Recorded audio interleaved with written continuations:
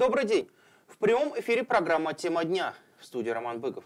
Сегодня мы снова поговорим о бездомных животных, бездомных животных на улицах наших городов, э, маленьких городов, больших городов. Все время мы говорим о том, что хорошо, как им помочь. Обычно это удел, как правило, обычно это удел вот частных лиц.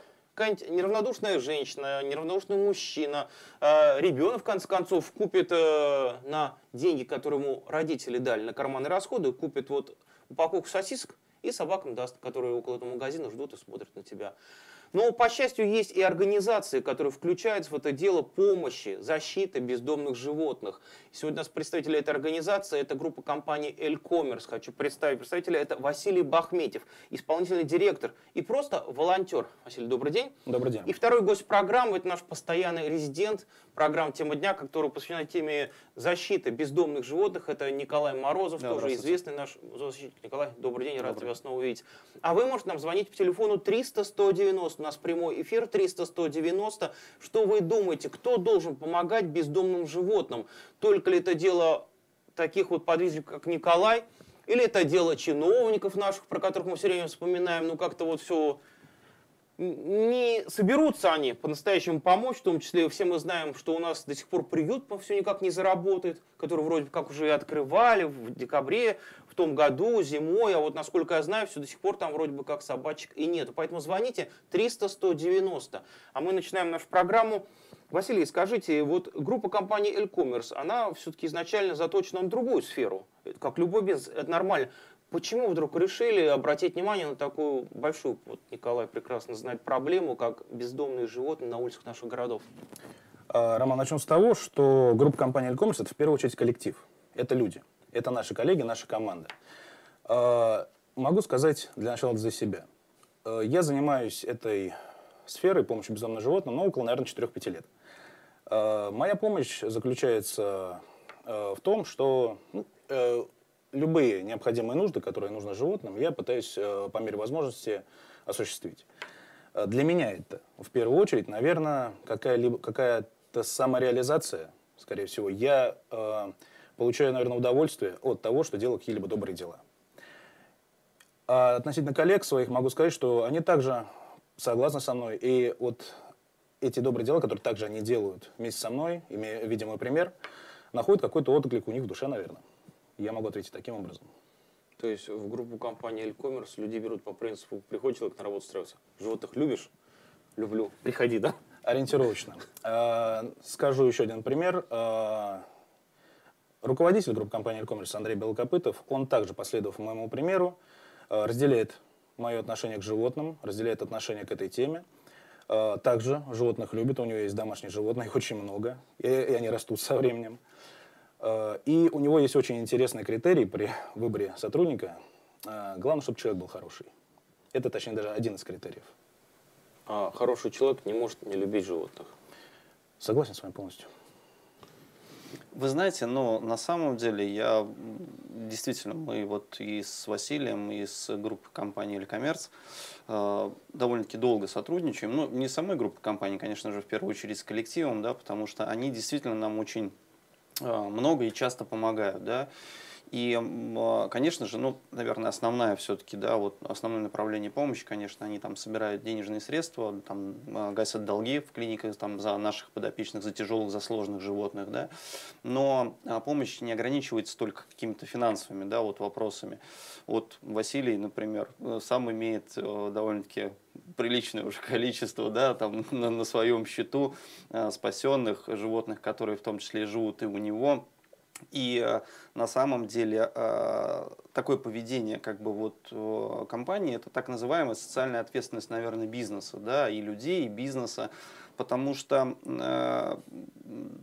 ну, как бы совершенно, да, вот там не принципиально, какими добрыми делами ты занимаешься. Ну, выбрал компанию, да, вот там или коммерс, например, помощь бездомным животным, ну, отлично. Глядишь, может быть, кто-то там другой последует, к примеру, выберет какое-то другое направление помощи, да.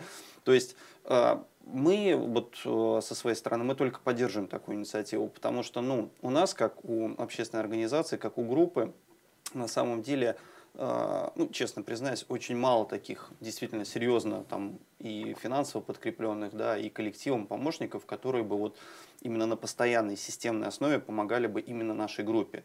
Потому что, ну, как правило, все равно наша группа существует все-таки на, вот как вы правильно сказали, на там, пожертвования, да, на доброй воле именно частных лиц, э, тех же самых детей, да, недобродушных, э, не, без, ну, не безразличных, да, неравнодушных, да, прошу прощения, э, там, граждан и так далее. А вот именно каких-то вот действительно серьезных организаций, которые бы включались бы в эту работу, вот, наверное, можно пересчитать по пальцам, и палец номер один – это Эль-Коммерц. Николай, а вы вот тоже как человек, который, наверное, всю жизнь этим занимается, вы как-то вот анализируете, а почему так происходит? Ведь полно, ну, не бедных организаций, чего уж там греха таить, а вот почему таких, как Элькоммерс, вот только сказали, по пальцам одной руки. Ну, вы знаете, здесь, наверное, все-таки вопрос к этим организациям и, наверное, в расстановке приоритетов, потому что действительно, да, существует же много направлений благотворительности, да, и, ну, к сожалению, наверное, у многих организаций, ну, животные, ну, в принципе, как, наверное, у подавляющего большинства, к сожалению, наших граждан, животные, они где-то там по остаточному принципу, они где-то на последнем месте, да, то есть есть там люди с их проблемами, да, есть какие-то там малоимущие группы населения и так далее. Ну, а, как правило, на животных, ну, особо сильного внимания никто не, не, не обращает. И я думаю, что, конечно, связано с этим. Ну, опять-таки хочется надеяться на то, что сейчас все-таки э, наше общество как бы все с каждым днем э, становится все более таким гуманизированным, да, и э, там, популяризация, да, именно проблематики бездомных животных на улицах города – а, она приносит свои плоды, новые люди приходят, да, соответственно, мы привлекаем внимание, вот организации приходят помогать. Ведь тоже, да, в любом случае, они же в какой-то период времени о нас услышали, узнали, подключились к этой работе. Ну, за что им огромное спасибо. И позвольте добавлю еще да, пару конечно. слов. А, почему а, организации вступают на путь благотворительности и помощи, ну, в частном случае, бездом, в данном случае бездомным животным. Наверное, пример. Пример кого-то из сотрудников. Потому что мы, в первую очередь, опять же, говорим об организации как о коллективе. Я думаю, что в данном случае мой пример, он подвиг наших сотрудников к тому, что нужно делать добрые дела, помогать, в частности, бездомным животным. Ну и опять вопрос приоритетов. Э, я считаю, что, в принципе, помогать – это дело благое и очень важно для каждого человека. Наш взор, точнее, мой личный взор пал вот на данную сферу. А вот тоже Николай сказал, что, так сказать, на вашем счету уже как бы не одно спасенное животное. То есть вы этим начали заниматься просто еще даже не работая в e-commerce? Да? Этим я начал заниматься задолго до работы в группе компании e-commerce, э, потому что, наверное, в детстве, в неосознанном возрасте просто сопереживал, было жалко животных, которые бегают по улице. А потом, когда э, стал, ну, наверное, самостоятельным социальным человеком, понял, что могу помогать, у меня есть на это возможности, свободное время, личное время, личные средства какие-то. И начал потихоньку этим заниматься, познакомился с волонтерами, а там уже вместе с э, развитием деятельности, помощью волонтерскому движению, у меня появились и собственные животные, которых я, соответственно, спас, наверное, с улицы. А первое помните? Вот? Конечно, помню. Что это было? Это была кошка, зовут ее Августа, она живет до сих пор у меня. Попал под машину. А, попала ко мне через волонтера инициативной группы. Последним животным было буквально недавно в Старице. А, ездили с товарищами на мотопробег, а, и котенок маленький, рыжий, просто прыгнул ко мне на мотоцикл, отказался с него выходить. Просто прыгнул? Просто прыгнул. Просто прыгнул и сидел. То ну, это... как бы без вариантов, я понял, что это ну, некий знак, наверное. В портфель засунул, повез домой. Понятно. Там мне мои коллеги подают некие знаки о том, что у нас должна выйти реклама, тоже без вариантов. Три минуты, не переключайтесь. Мы сегодня говорим о бездомных животных снова. Реклама.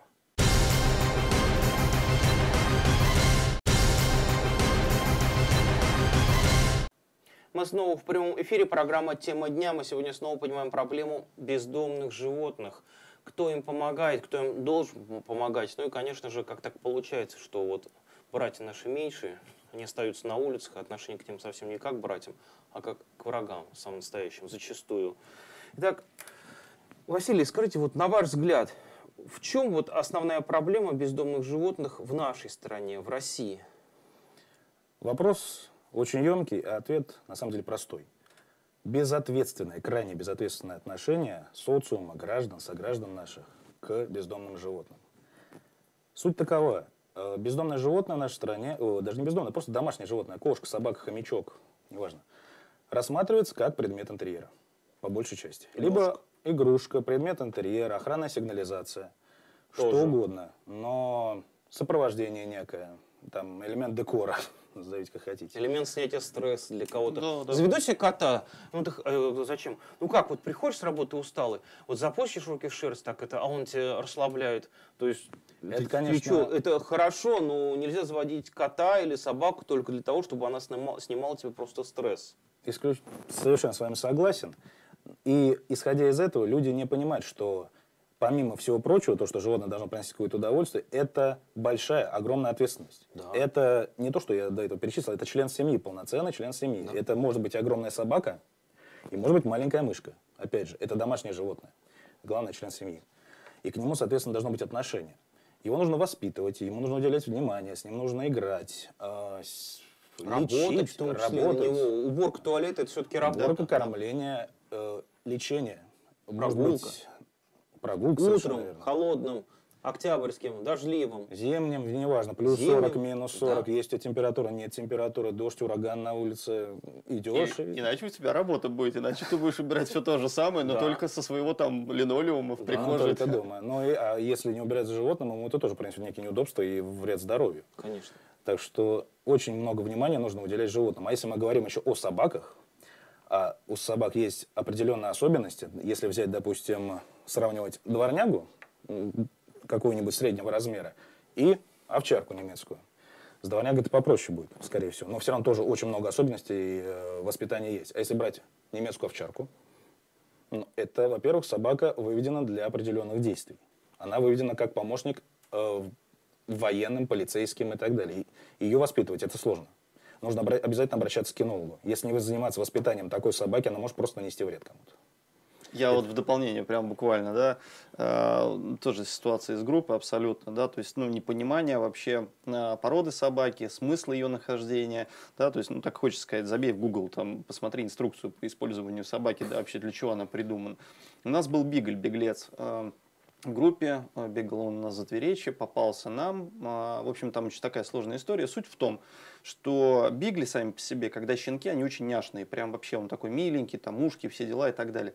Но это сто процентов охотничья собака. Небольшая собака сама по себе. Да, сама по себе Норма, небольшая. насколько я помню. Да, да. Но чтобы э, обеспечить, ну, как бы вот э, должное там развитие, да, там собаки нужно заниматься воспитанием, и там самое главное, да, огромное количество времени нужно проводить именно на, выг- на выгуле, да, то есть ее нужно выбегивать именно, да.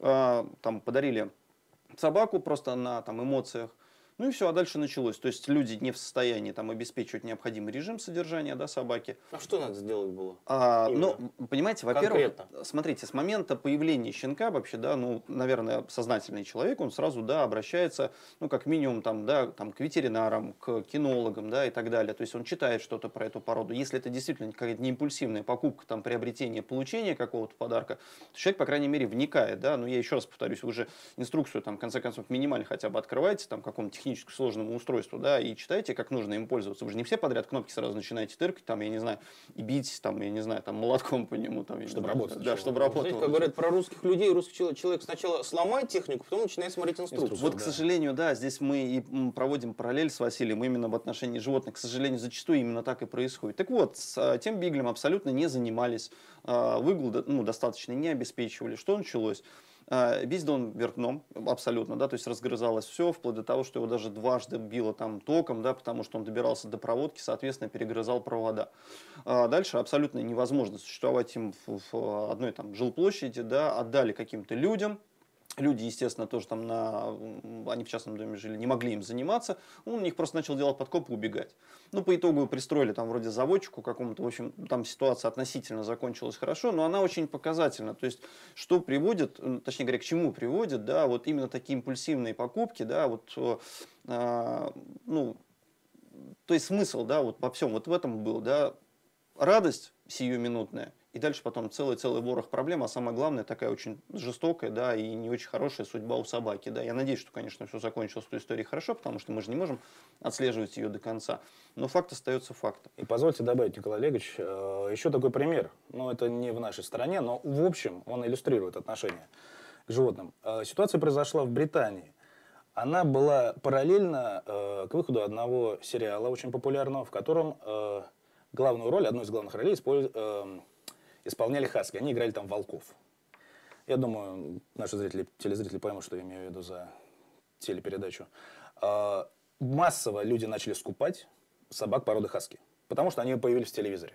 Они там были очень красивые, и Мода, люди захотели... мода, да. э, люди захотели себе такое же животное. Массово. Не читая инструкции, как Николай Ильич сказал. Э, несмотря, что это за порода, что ей нужно. А потом начался массовый, такой же массовый отказ от этих животных. Вплоть до того, что люди, э, животные, ну, в лучшем случае, возвращались в приюты. Не возвращались, а передавались в приюты, которые там, ну, там развиты, будем так скажем, откровенно лучше, чем у нас. Либо просто выкидывались. Потому что люди не могли содержать таких животных в квартире. Хаски и та же сибирская лайка, схожая порода, это животное, которое требует, самое главное, выброс физической, э, физической активности. То есть им надо пробегать огромное количество в день, просто километров, просто бежать прямо. То в идеале, как советуют кинологи, как минимум, если вы живете, и у вас есть хотя бы рядом поле какое-то, выпускаете его на поле, привязываете пару покрышек автомобильных, и пусть он там круги наворачивает, пока с ума не сойдет. И вот так они смогут только успокоиться и жить адекватно. А люди, которые живут, держат их в квартирах, таким может только посочувствовать. Но потом эти люди, не зная, пород, не зная особенностей породы, начинают э, думать, а что, что у нас такая собака-то плохая? И потом начинаются выбрасывание этих животных. В лучшем случае выбрасывание. И бывают случаи, когда ну, совсем уже крайние, когда люди просто приносят, приводят собаку, живот, животное в клинику, усыпите. Чтобы усыпить, держать совершенно не можем, нам надо и причин много. Просто усыпить животное, здоровое животное, просто потому, что у них не хватает каких-то, ну, будем откровенно говорить, мозгов. А вот расскажите правду про хаски. Я как раз тоже хотел про это поговорить. Я стал замечать, да, последние годы, мы не в Англии живем, в России, но я действительно стал замечать много на улицах хаски. И раньше вообще их не видел. Я их видел только на страницах журналов, по телевизору и так далее. Сейчас я замечаю. И тоже я слышал действительно, что это такая собака, которой надо много бегать. А что Очень происходит, много. Э, как она себя начинает вести в квартире, если с ней дежурно погуляли, там, 10 минут туда-обратно, и все, и завели? Хулиганить. Жестко хулиганить. Как тут бегали тоже? Хуже. Примерно то же самое. Только она еще да. больше. Бегает. Да. То есть это двери могут быть в щепке, да, это ваша обувь, соответственно, вы будете обновлять там, я не знаю, раз в там, месяц, да, там в три Приведу недели, пример лично моего животного. Третьим моим животным была собака. Не, это двор-терьер, подобранный в подъезде. А, не хаски, конечно же, но просто я с ним гулял в день три раза по часу. Ого. Это было много, да. Несмотря на это, квартира лежала в руинах. То есть, э, учитывая размер, то, что он вымахал очень большим, он мог опрокинуть шкаф, он мог вынести дверь. То есть, э, из-за этого мне пришлось, э, приходилось каждый раз просто искусственно заставлять его уставать. Сам я там тоже сбросил хорошенько на тот момент. Но потом проблема решилась, я просто решил, принял такое стратегическое решение переехать за город. Это упростило значительно. Ну, имелась такая возможность, скажем так. А для людей, которые в квартиры заводят животных, да, это все это необдуманное решение. Абсолютно все необдуманное, абсолютно необдуманное решение. То есть вот, например, опять-таки ситуация из группы буквально там нескольких дней назад. То есть, например, пишет нам девушка в группу, вот, слушайте, я сейчас беременная, да, мне вот врач, э, гинеколог сказал из-за опасения токсоплазмоза, пожалуйста, заберите мою кошку. Ну, пишем, слушайте, ну вот сейчас развитая там медицина, да, ветеринария. Так вы вот прежде чем опасаться токсоплазмоза, вы бы ну, взяли кошку, сходили бы, сдали анализ, там, есть у нее токсоплазмоз или нет, а после этого уже говорили бы, заберите кошку или не заберите. Опять-таки, да, Хорошо, гинеколог вам сказал об этом, но вы забейте в Google, да, что нужно, чтобы человеку заразиться там э, токсоплазмозом от кошки. Надо там с ней лизаться, да, я не знаю, там надо лазить в лоток, там, да, и так далее. То есть там, ну, надо очень сильно постараться, да, чтобы но понимаете, то есть у человека какие-то обстоятельства, да, и он, естественно, ну, принимает решение упростить для себя вот это, решение этой проблемы, да. Заберите, пожалуйста, кошку. Такое ощущение, что в э, группе сидят и ждут, вот, пока нам кто-то позвонит, да, и мы там с удовольствием заберем эту кошку. Та же самая ситуация, да, а, мы зачастую не всегда же можем там в группе помочь именно тем, что мы там изымем животной среды, там, либо у хозяина, да, там, точнее говоря, либо при отсутствии хозяина, да, скажем так, потому что у хозяев там в исключительных случаях там животных мы забираем, там, например, как на Волколамке у нас была ситуация с э, кошками, тогда да, то есть как бы, ну, хозяйка уже была не в состоянии, ну и там вообще ситуация была такая абсурдная абсолютно. Это где много было кошек? Да, да. Мы я тоже пор... знаю этот мы... дом, я потому что на работу ездил всякий раз, где-то посередине Волоколамки, да, перекресток Волоколамки с Плесковым. слева. Да, и мы мы до сих пор с этими кошками развлекаемся. Там буквально было пристроено несколько животных. Остальные все животные до сих пор сидят на передержках, мы их там лечим, и там целый ворох проблем, и нам еще развлекаться и развлекаться. Вот тоже ситуация недавнешняя. То есть э, там женщина в возрасте уже была в Пролетарском районе, пожалела щенка, забрала. Звонит. Э, вы знаете, говорит, вот она подросла и начинает писать дома. Да, и вот, ну, заберите, пожалуйста, собаку. Я говорю, слушайте, ну куда? Куда мы заберем? Я говорю, давайте я вам дам номер телефона кинолога. Хотите, мы от группы там, ну, частично там поможем, профинансируем, да, занятия с кинологом. Тем более она живет здесь вот на, на Смоленском переулке. А, занятия проводятся как раз возле Восточного моста. Я говорю, вам там пройти-то вообще, ну, буквально, да, вот чуть-чуть сходите, позанимайтесь, я говорю, в любом случае, в группу социализации, в группу послушания. То есть... Я вас перебил, да, на телефонный да. звоночек. Э, слушаю вас, здравствуйте. Алло, здравствуйте. Здравствуйте. Я взяла два года назад в инициативной группе себе собаку. Видела по фотографии, очень понравилось. И честно благодарна. Это такое хорошее животное, это замечательная у меня девочка. И спасибо, что вот вы находите животных, которым нужна помощь. И они вот остаются у нас. Спасибо вам большое. У жителей да. Твери.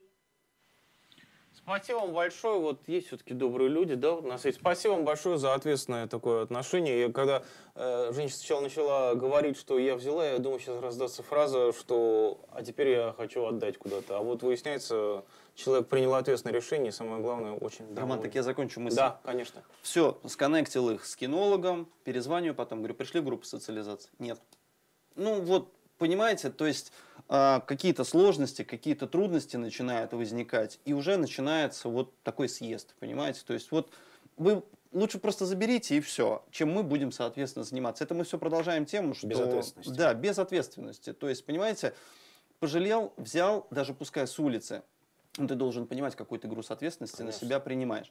А не так просто, что вот, да, если что, я там найду каких-то гипотетических там волонтеров или, я не знаю, там э, сотрудников какой-то организации добросердечных и просто впихну им потом это животное. Да нет, вот я говорю, я уже вторую, наверное, да, вот там программу, которая посвящена именно тематике бездомных животных, я говорю, вот сейчас можно констатировать, что фактически там резервы, да, и там возможности нашей группы, они действительно реально уже исчерпаны, потому что вот сейчас, на данный момент, все очень тяжело и с пристройством животных, и с приемом новых животных в группу. Ну вот мы реально уже просто выдыхаемся. Поэтому, конечно, и тяжелых животных очень много, да, вот э, мы буквально с вами, да, вот на короткой паузе разговаривали по ситуации на вот Красинском мосту, вот э, Василий тоже в курсе этой ситуации, там собак, э, собственно говоря, расстрелял какой-то неизвестный мужчина из пневматического оружия. Сейчас там полиция вроде как проводит проверку. И животные тяжелые, да, вот сложные, они с четкой периодичностью появляются, и поэтому, конечно, ну вот у нас э, только благодарность, да, и к Василию, потому что вот они видят, отслеживают эти ситуации, включаются, а, сами предлагают, мы не просим, я вам честно признаюсь, мы никогда не просим, да, и они сами подключаются к решению тех или иных задач, и вот отлично помогает. Мы как раз сейчас э, об этом поговорим. Давайте завершая разговор ответственность безответственность. Вот исходя из вашего опыта и ваших знаний, вот нас смотрят телезрители, а какие бы еще вы породы э, назвали, если человек захочет завести, чтобы он сто раз подумал? Потому что все-таки, да, собак, собаки рознь, там двор-терьер такой маленький, миленький, да, допустим, или действительно какие-то большие собаки, или очень энергичные собаки. Какие бы еще породы вы бы, ну, скажем так, даже, может, называя вещи своими именами, не очень бы рекомендовали для заведения в городских условиях? Наверное, скажем, в первую очередь, что любая собака все-таки требует самого, самого да. ответственного отношения. Любая. Конечно. Любое, любое животное. А по поводу пород, ну, скажем так, э, есть, ну, назовем некоторые породы опасными для человека. Я думаю, это те, которые называют бойцовскими все же. Они не опасны. Ротвейлеры. Ротвейлеры, которых стало, на самом деле, маловато сейчас. Да, была мода в 90-х, да, согласен, но тем не менее. Стафы, бурбули какие-либо, бультерьеры. Но, повторюсь, это абсолютно адекватные собаки, если с ними работать.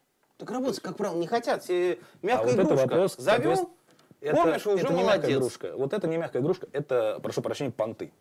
То есть люди самоутверждаются за счет того, что рядом с ними идет большая, крепкая, мощная собака с большой челюстью, которая вцепится и не отпустит никогда. Вот так это, ну, это ну, нужно человеку сначала, ну, наверное, пойти полечить голову. Понять, что самоутверждаться нужно все-таки другими способами, а не тем, что рядом с тобой идет такая здоровая собака. Это опасно. Если человек этой собакой не занимается, ну, они на самом деле очень милые. Они отлично ладят с детьми. Но не надо им ломать психику вот, безответственным своим отношениям.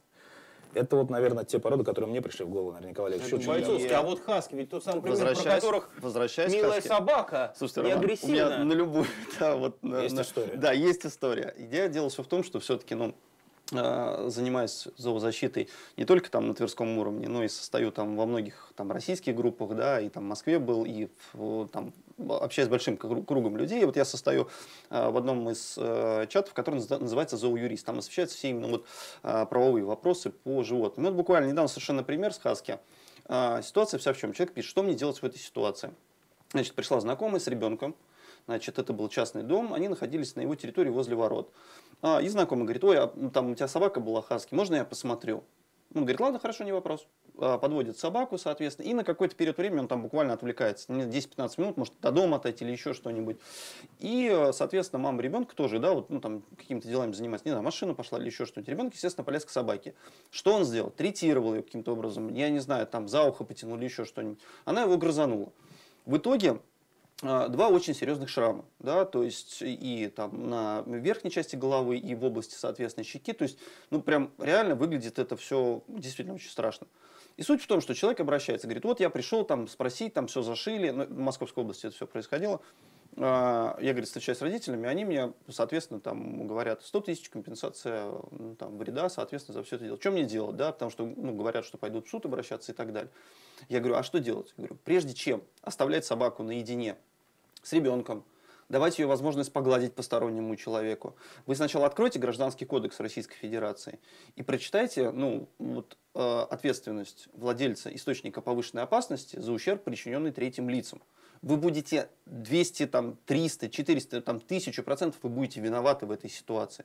И вы не скажете, да, что там, э, там собака защищалась там, или еще что-нибудь, да, и так далее вы владелец собаки, вы несете за нее ответственность. Да? И вот когда вы так безрассудно э, оставляете собаку наедине с ребенком, не контролируя его, да, то есть без намордника, да, там, не держа его там, за поводок, за ошейник и так далее, вы можете получить вот такие последствия. И хорошо, и слава богу, что тут ребенок остался жив. И он задает вопрос, а что мне делать? Я говорю, поверьте мне, вот ну, моему личному опыту, соглашайтесь пока вот на ту компенсацию, да, вы можете еще по пообсуждать, подискутировать, 100 тысяч, там, 80 тысяч, чем, говорю, это все дело дойдет до суда? Потому что вы в суде 100% проиграете, даже не 100, как я сказал, 1000% вы проиграете, потому что практика огромнейшая да, вот по судебным делам. А на вас еще лягут судебные издержки, да, и, соответственно, вы ожесточите своих же знакомых против себя, потому что, да, ну, естественно, они там предположат, что, ну, мы же предлагали договориться по-хорошему, человек сказал, нет, давайте будем судиться, да, то есть суд это в любом случае стресс, то есть вы еще потеряете отношения. Поэтому я говорю, мой вам дружеский совет, я говорю, вы вольны, конечно, любое решение принять, но мой вам дружеский совет, лучше договаривайтесь. И вот это опять-таки то, о чем говорит Василий. То есть вот человек взял такую собаку, повел ее на поводке, Мало того, что она представляет угрозу для его там, имущества дома, да, что он там двери там, испортит, погрызет. обувь там, погрызет, она представляет угрозу и для общества. Она представляет опасность для тех же самых людей. А если человек еще и не знает, как мы говорили, опять-таки в начале программы, не прочитал инструкцию, да, и будет спокойно абсолютно, да, подводить к другим собакам, да, там, я не знаю, спускать ее с поводка, не одевать намордник, давать возможность погладить другим людям и так далее, то все может привести вот к таким последствиям. Ну, то есть, э, как бы резюмируя, не обязательно, ну, э, собака может доставить хлопоты, если она, например, не относится к бойцовским. Я, к примеру, знаю вот эти, знаете, той терьеры, по-моему, маленькие собачки. У меня знакомая завела и тоже выяснил, что возни очень много. Да. Она-то думала, что это чуть ли даже, не знаю, котенок, не котенок, чуть ли не игрушка, а выясняется там диета сложная, то есть он далеко не все ест, и она рассказывала, что много Слово диета добавлю, Роман, то, что породистые собаки, они еще более, э, у них еще такая есть особенность интересная, они подвержены заболеваниям генетическим в силу селекции много, многовековой, я бы даже сказал. Конечно. И у них очень много проблем. Есть собаки, у которых много проблем, а есть собаки, у которых еще больше проблем. То есть это и сердце, и дыхание, и переохлаждение. То есть э, нужно еще помимо того, что нужно воспитывать собаку, нужно еще и за ее здоровьем следить. Если вы выбрали какое-то породистое животное, ну, если мы говорили о тех же бойцовских, в общем, породах, у них проблем много. А еще люди у них любят уши резать, хвосты резать, а это еще дополнительная проблема. Роман, если в Германии сдают экзамен на право обладать собакой, то есть, ну, понимаете, ну, наверное, о чем-то это говорит. Да. Но, а здесь мы даже не можем элементарно, да, вот просто сами для себя выяснить, нужна ли нам эта собака, готовы ли мы с ней заниматься, да, мы просто ее берем, а потом уже по факту, да, они бегают, соответственно, по улицам. Кстати, я хотел сказать, по кошкам такая же ситуация. Да, и не только по собакам. Полностью согласен, у нас телефонный звонок. Здравствуйте, слушаю вас. А, добрый день. Здравствуйте. Я, я Анна. Да, здрасте, очень приятно. А, я хотела бы а, спросить вот вопрос про животных. Я сама подбирала котят, кошек. Вот, это очень дорого стоит их прививки, обработка, лечение. Вот, и хотела бы спросить, а почему бы не искать э, животных, их лечить, а просто их э, кастрировать, то есть эти деньги пустить на, на саму суть проблемы. Угу, понятно, понятно. Спасибо. Слушайте, ну э, в рамках группы в любом случае программа стерилизации, она реализуется, да, потому что мы сотрудничаем с несколькими клиниками, да, мы централизованно закупаем ветеринарные препараты и, соответственно, субсидируем таким образом ну, определенную стоимость, то есть она дешевле получается. То есть мы оплачиваем только работу, собственно говоря, хирурга, да, ну и обслуживающих врачей. А, за счет того, что мы напрямую поставщика покупаем препараты, естественно, стоимость итоговая стерилизация а, выходит меньше.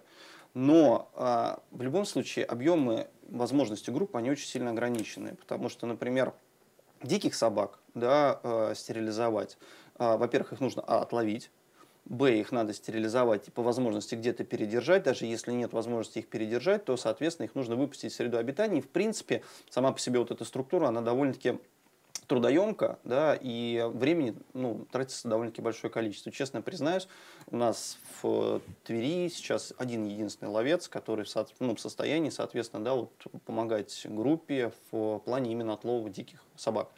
С кошками попроще, но опять-таки вы должны понимать, что всем этим занимается ограниченное количество людей. Да, и именно кроме, там, допустим, инициативной группы по защите животных, именно такими масштабными а, программами стерилизации, а, возврата в среду обитания именно городских животных больше никто не занимается. То есть программа на там, а, региональном уровне пока в рамках 498 федерального закона не реализована и не делается.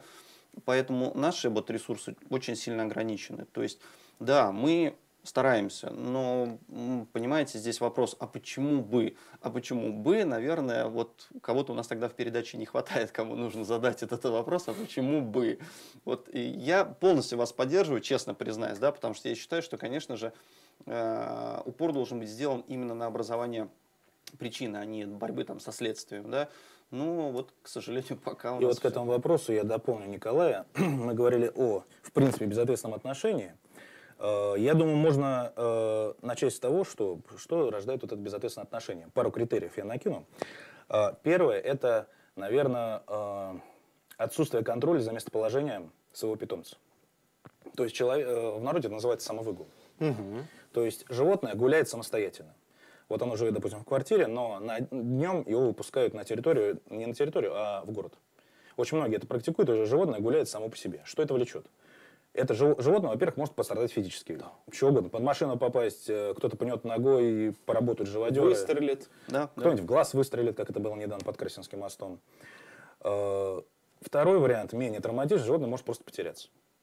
И дальше вот следующий вопрос – отсутствие стерилизации. То есть стерилизация – это единственный гуманный способ контроля численности домашних животных. И смотрите, что происходит. Если животное не попало к волонтерам, не вернулось к хозяину, просто потерялся, где-то оно одичало в городе, и оно при этом не стерилизовано, оно начнет плодиться дальше.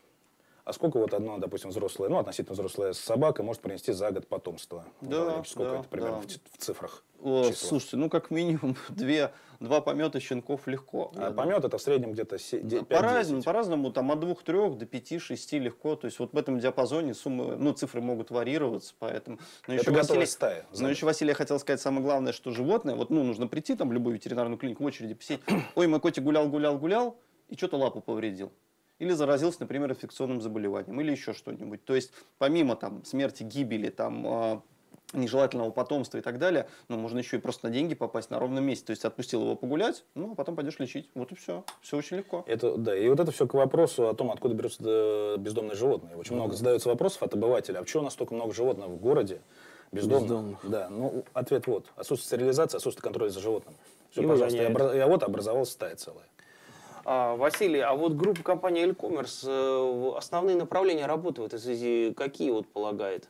Ну, начнем с того, что весь наш коллектив, он абсолютно поддерживает и разделяет э, э, взгляды и ценности современного гуманного общества относительно вопроса вот домашних животных, гуманного отношения, ответственного Домашних и отношения животным. бездомных. Потому что одно из другое, к сожалению, К сожалению, переползает. К сожалению, да. Да, из одной стадии в другую. Наши коллеги все э, поддерживают эти вопросы, поддерживают гуманное отношение к животным. В частности, за себя могу сказать, чем я помогаю. Руками физически, транспортом, если это необходимо какие-то транспортные манипуляции, и, конечно, финансово. У меня в семейном личном бюджете есть отдельная строка на благотворительность. То есть у меня есть определенная сумма, я ей помогаю лично своими средствами вот группе в лице Николая Олеговича. Э, покупаем корма, оплачиваем долги. И мои коллеги, они могут сказать то же самое. Также э, мы информацион- наша группа компаний информационно поддерживает марафон начатый группа, э, инициативной группой по защите животных. Суть марафона заключается в том, что каждый человек, любой обыватель, может подойти в ветеринарный магазин, ветеринарную аптеку, приобрести в, в силу своих финансовых возможностей какой-нибудь э, препараты, корм, амуницию какую-нибудь, шлейки, поводки. Все, что может помочь в деле э, пристройства лечения бездомных животных нашими волонтерами. Оставить в этой клинике и передать потом сотрудник, э, коллегам, волонтерам, которые потом это пустят, э, уже будьте уверены, на благое дело. Да, мы системно такие сборы вот постоянно как бы вот э, длящиеся запускаем. У нас, например, на базе сети э, зоомагазинов, например, до сих пор ведется сбор э, помощи кошкам Нило-Столовенской пустыни. Да, там их огромнейшее количество, да, Да. и вот, ну, мы даже по этому лету там были, наблюдали ситуацию, потому что, опять-таки, да, безответственное обращение, матушка Наталья, дай бог ей здоровья, она говорит, постоянно подбрасывает, то есть знает, что, соответственно, кошек в Нило-Славянской пустыне любят, там ценят, заботятся, и все новых, новых, со Сташкова, с близлежащих других там поселков и так далее, то есть привозят, подбрасывают и так далее. И э, там более 120, или я уже даже вот, теряюсь в цифрах, честно говоря, не хочу врать, но кошек там огромное количество. И вот Они являются не- неизменным атрибутом да, да, да, и вот матушка Наталья занимается ими, поэтому у нас такой, допустим, запущен постоянный длящийся сбор, то есть мы весь четко периодичностью собираем то, что люди там покупают, да, А, у них приезжает там раз в неделю машина Тверь, мы, соответственно, все это собираем и передаем непосредственно туда, потому что сейчас как раз для них самый такой суровый период, например, начинается, потому что если летний период времени это большое количество паломников, туристов, и все-таки какая-то движуха происходит, да, то сейчас с приходом осени, естественно, все это угасает, зимой меньше, меньше, меньше, но окошки от этого есть не перестают. Ну вот вы хорошо сказали, что, получается, монахи помогают. А вот, господа, со стороны чиновников вы как-то ощущаете какую-то помощь?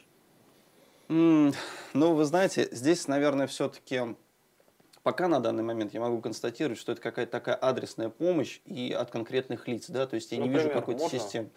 Ну, например, в ту же самую ситуацию э, с подстреленными собаками под Красинским мостом вмешался помощник э, депутата законодательного собрания. Я, к сожалению, не знаю его фамилию, не могу сказать. Там у нас Ирина Иванова, один из активных волонтеров нашей группы, э, занимается вот этими собаками. Они вместе ездили в клинику, вот, посмотрели, и он сказал, что даже, ну, как бы, если все будет нормально, он готов будет взять одну из вот, подстрельных собак, первую, да, щенка Нико, Нико э, себе.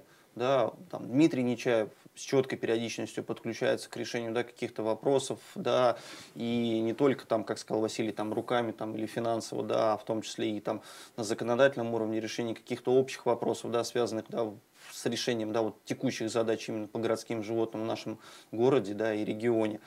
То есть э, неравнодушных много, но системы нет. Вот, а я спрашивал как раз, да, про систему, потому что все-таки чиновники, согласитесь, это Это Само по себе система. хороший. Любая администрация это система. Да, когда лично просто человек, он может быть этими занимается, он там возглавляет какой-нибудь спорткомитет, к примеру, там или культурно помог, это одно. Но ведь согласитесь, от органа власти мы ждем помощи на системном уровне, а не разово кто-то руководствуясь своими добрыми чувствами купил мешок корма. Должна быть система, потому что проблема существует давно системно это давно уже ее не решить какой-то разовой помощью. Это прекрасно, разовая помощь. Но согласитесь, работать надо системно. Абсолютно. Ну, да, пока, к сожалению, почему-то мы буксуем. Мы с приютом, с муниципальным буксуем, вообще, в принципе, с... А что там, Николай, расскажите? Вы как А. человек все-таки куда более меня сведущий в этом вопросе. Я знаю, что он не работает. Что там? Понимаете, на данный момент, к сожалению, вообще, в принципе, в регионе отсутствует концепция дальнейшего да, вот движения в э, плане работы с городскими животными, да, то есть что мы с ними, собственно говоря, будем делать. А, Представлено несколько вариантов, да, то есть по одному из них вроде как управление ветеринарии должно взять на себя эти полномочия. С другой стороны, рассматривают все-таки вариант э, вернуть э, тендерную основу да, и пытаться проторговывать отлов содержания безнадзорных животных. Но я сразу могу сказать там, всем нашим зрителям, что уже на протяжении нескольких лет э, на эти тендеры на территории города никто не выходит, собак никто не ловит, да, и служба отлова э, как таковая. Э, Во-первых, невыгодная цена. Во-вторых, э, за те деньги, которые вот э, реально предлагается, невыгодная цена в плане вообще, да, ты ничего не заработаешь. Заработаешь только в одном случае, если э, ты будешь убивать животных. А убивать животных очень тяжело, Чего сложно. это может заработать? А, Ужас какой. понимаете, вот как сказать, Уменьшение затрат на содержание, содержание, кормление, да, А, лечение. да. То есть суть какова? На, на одно животное выделяется определенное количество денежных средств. За эти денежные средства человек, который взял на себя ответственность за отлов, он должен поймать, содержать определенное количество дней, лечить, кормить, стерилизовать. Ну, там есть какой-то процент агрессивных и безнадежно больных животных, которые усыпляются. Привить еще. При- Да. а, привить, пардон, забыл. А, этих денег ну, катастрофически не хватает. И, под- и поэтому появляются некие недобросовестные и низкоморальные личности, которых были примеры в нашей Да, практике, э, которые решили так. Мы будем изображать деятельность, как минимум построим некую передержку, ну как построим, возьмем некий сарай, там изобразим деятельность, а собак мы будем не ловить и содержать, лечить, а просто стрелять либо на месте, ну, в крайнем случае, либо привозить куда-то и стрелять там. То То есть, есть в любом случае животные не выживают. убит при попытке к побегу, да, что называется? Ну, да, что, типа понимаете, того. Говоря лагерным языком, а деньги на него все равно. Да, улетели. очень Деньги выделены, получены, оприходованы, освоены, как модно говорить. А суть-то, сути-то нет. Живот, э, А просто- животное погибло. Фа- по факту это выглядело так. Двор некий, дети гуляют, э, бабушки сидят на скамейке, при- бегают пара собак бездомных. Приезжает машина. Причем, выходит- что я перебью, Василий, как правило, уже стерилизованные за счет вот этих же самых бабушек в этом дворе, потому что вот я хотел сказать, что сейчас у нас общество как бы, да, вот, ну, уже немножко въезжает. на гуманный рельс все-таки переходит. Да, Да. да, въезжает. То есть стерилизованные, подкормленные собаки, и дальше, Василий, А дальше э, подъезжает машина, как я сказал, выходят э, некие молодые люди и начинают просто банально грубый средневековый отстрел. Или ловить, как помните, Ну, стрелять, собачье конечно, сердце за зачастую этими котами. собаки сами подходят, понимаете, они не чувствуют А, угрозы от опасности. человека, да, и, ну, это они- вот цинизму добавляет данной ситуации, потому что стреляют-то как раз и отстреливают животных, тех, которые подходят, их легче. То есть социализированные животные, которые относятся хорошо к человеку, вот они-то первые попадают. Дикие животные, которые боятся человека, ну, такие вот варвары, которые этим занимаются, они не считают нужным ловить их. Вот собака подошла, давай лучше ее стрельнем, отчитаемся. Ну, И опять же, это сложно, понимаете, это же бегать надо, Да, это же бегать ловить надо. надо, понимаете. Целиться, Курить да, бросать. Да, да, да, вести правильный образ жизни. Поэтому вот, и ситуация привела к тому, что, опять-таки, да, а, там потенциальные заказчики, может, кто и хотел денег на этом заработать, они отследили ситуацию, вполне вероятно, по региону, да, увидели, что возбуждались уголовные дела, что все-таки есть какая-то активность со стороны общественности, да, которая не допустит этого. И мы уже, вот, к сожалению, на протяжении нескольких лет мы не имеем какого-то адекватного подрядчика, а, который мог бы заниматься отловом.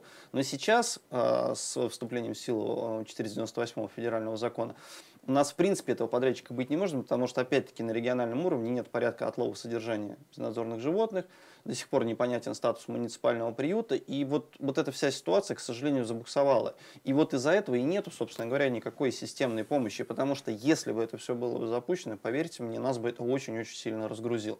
Потому что, я говорю, сейчас на данный момент получается так, стая где-то появилась, ну, я извиняюсь за выражение, да, вот такой каламбур, всех собак вешают на нас, да. А почему волонтеры не приедут, почему не сделают, почему не отловят? Ну, ребят, да некуда уже. И неким, и некуда. Приходите, помогайте к нам в группу, да, мы вам поможем, да, мы вас там сконнектим с ловцом, мы вам организуем стерилизацию. Организовывайтесь, да, мы а, предложим там и финансовую, и методическую помощь, да, и так далее. Позвольте ну, образ да. волонтера добавлю. Угу. В нашем обществе, в социуме искажен образ волонтера. То есть обыватель думает, что волонтер это некто человек, у которого в сутках 40 часов, который, у которого нет основной работы, и который сидит и ждет, когда ему позвонят и скажут, э, съездите, заберите у меня кошку.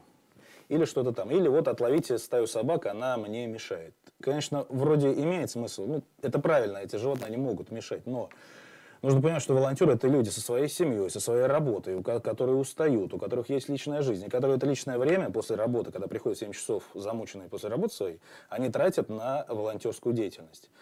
Нервы, финансы, ресурсы какие-либо, с родственниками могут не видеться, детей могут не видеть. Нужно понимать, что это тоже люди. Конечно. И вот так относиться к волонтерам, звонить, а ну-ка заберите собаку у меня, иначе ее выкину. Ну, это, не, это как минимум недостойно. Николай, а все-таки возвращаясь к приюту, вот этому нашему, что с ним сейчас происходит, в каком он состоянии? Ничего, он просто стоит. То есть его построили, да. как мы сообщали в своих репортажах в том, в том году, и он стоит? Да, к сожалению. По какой да. причине? Вам как-то кто-то это объясняет? Я еще раз повторюсь. Отсутствие региональной нормативной базы и четкой программы дальнейших действий, работы именно региональных там, и городских властей по э, городским животным, по безнадзорным животным. Вот в этом все буксует. То есть мы, до сих пор не выбран какой вариант, до сих пор не проработана там тактика и стратегия, да, не определено, кто будет непосредственно этим заниматься, кто за это за все будет отвечать. И вот, к сожалению, у нас такое сейчас время без времени, да, вот, то есть, ну, у нас ни, ничего не происходит, вообще ничего не происходит. Но вот в прошлой нашей программе мы встречались, зато успели внести там инициативу да, в правила благоустройства о запрете кормления безнадзорных животных. То есть вот это успели внести. А решить вопрос региональной нормативной базы по порядку отлова содержания, вот что-то пока как-то не очень. А мои коллеги по ту сторону экрана, что называется, вносят инициативу о рекламе. Три минуты, не переключайтесь.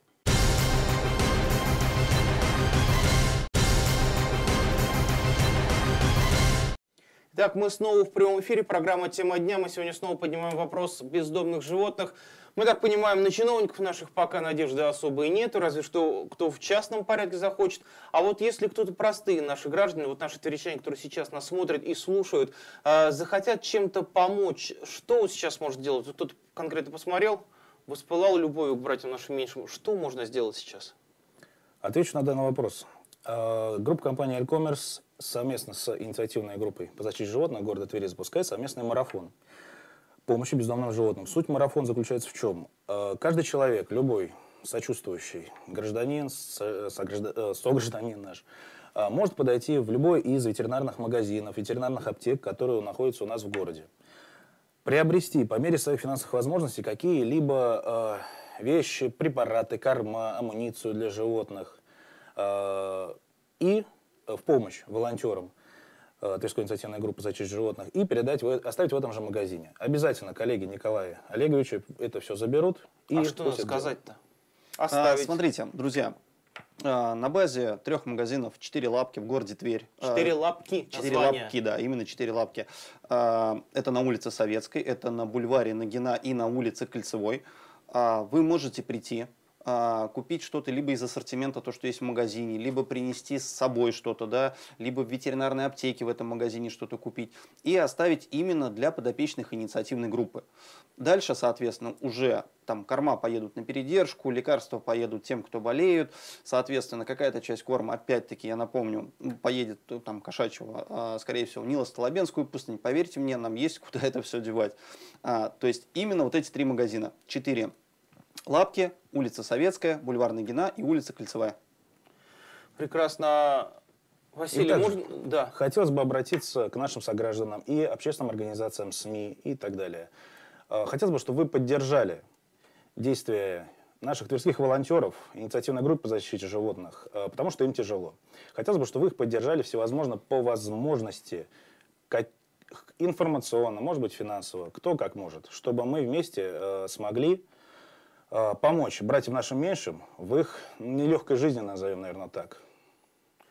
Ну что ж, спасибо большое. Это была программа «Тема дня». Мы сегодня снова поднимали э, такой вопрос, как помощь бездомным животным. Вот хорошо, что не только волонтеры, как Николай Морозов, помогают, но вот еще появляются такие крупные структуры, ответственные, социально ответственные, бизнес по-настоящему, как группа компаний «Элькоммерс», которая тоже обращает свое внимание на эту проблему. Любите наших животных, наших братьев, наших меньших. Всего вам хорошего. Спасибо. До свидания. Спасибо. До свидания. До свидания.